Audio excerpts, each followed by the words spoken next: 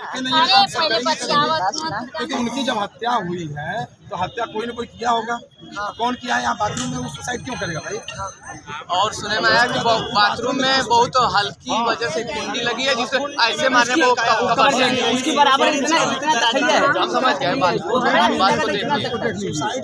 वो कोई बात नहीं है कि सुसाइड है सुसाइड नहीं है दरवाज़ा बाहर से पूरा उसका हाथ भी बांधा हुआ है। जी अपना नाम बताइएगा। जय शंकर तो क्या हुआ है जयराम यहाँ वो गाड़ी लेने के लिए आया था। मालिक बुलाए थे यहाँ के सामू मालिक पंप के। किसको बुलाए थे? उसी को। किसको? नाम क्या? है? ढिल्लू ढिल्लू। ओरिजिनल नाम मुकुटधारी। मुकुटधारी। क्या हुआ है घटना? घटना हुआ वहाँ पर देख लीजिए वो कल सुबह पता लगा कि फांसी लगा लिया है। जो कि फांसी लगाने लायक है नहीं इतना ही ऊँचा है। एक तो स्क्रू कसा है उसमें पैखाने में हिंगर टांगा है।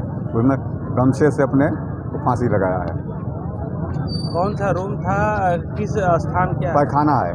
अच्छा। लेडीज़ पैखाना और कभी खुलता नहीं था आज खुला हुआ है। कौन सी जगह पे हुआ है? इसी पंप पे हुआ है। पंप पंप का पैखाना है। कौन सा पंप था मालिक? हाँ अलीनगर पेट्रोलियम। तो आप लोग को क्या लगता है क्यों चक्का जाम किए थे? फांसी नहीं लगाया उसका हत्या हुआ है। किसी पे संदेह है आप लोगों को? पंप मालिक पे संदेह है। मालिक पे संदेह लगा है। तो क्या चाहते हैं आप लोग? चाहते हैं क्या वही आए हैं अभी साधना जी? ले गई बुला रहे हैं थाने देखिए वहाँ जाने पर क्या होता है।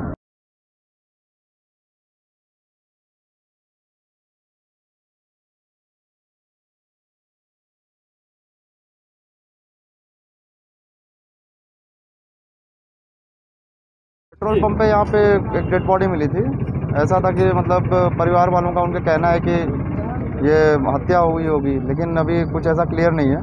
अब जब पोस्टमार्टम की रिपोर्ट आ जाए तो उसके बाद ही क्लियर हो पाएगा। और परिवार के लोग और भी और भी जो है यहाँ पे, लोग जो है चक्का जाम कर दिए थे तो अभी समझा बुझा के जो है सड़क के यातायात जो है चालू करवा दिया गया है, ताकि जाम वाली स्थिति ना उत्पन्न हो पाए। बाकी आगे की मतलब कार्रवाई की जा रही है। जो भी रिपोर्ट आएगी तो उसके हिसाब से फिर देखा जाएगा। एफआईआर या कुछ भी, जो भी निर्णय लिया जाएगा तो बाद में होगा वो सब।